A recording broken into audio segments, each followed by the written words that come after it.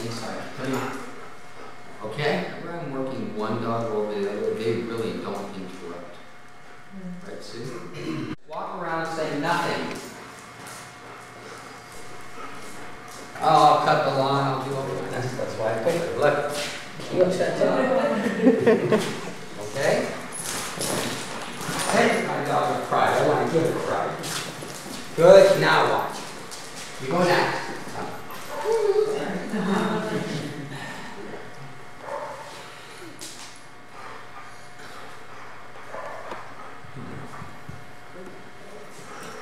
girls. Good girls. Come. Sit. Is there any change in their expressions? So those two drives make me become what to them?